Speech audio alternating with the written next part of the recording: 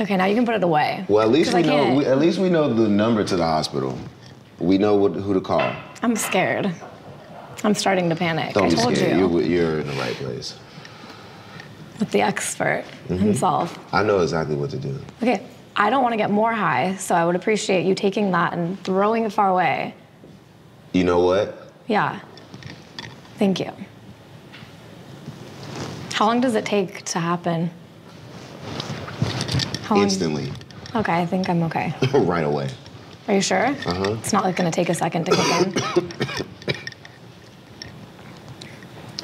Oh yeah, I see it. no, don't do that. I see it. That's not. I feel normal. I can see You're it. trying to make me panic. No, I see it. The more you say that, the more I start to like, my, my heart's gonna like race and I'm gonna start feeling like, oh God, I'm high. Let's go to the hospital. Why do you wanna go to the hospital so bad? I haven't been in a long time. What am I gonna do there? Like, hey, uh, can you, what do they do to fix this? Give you candy.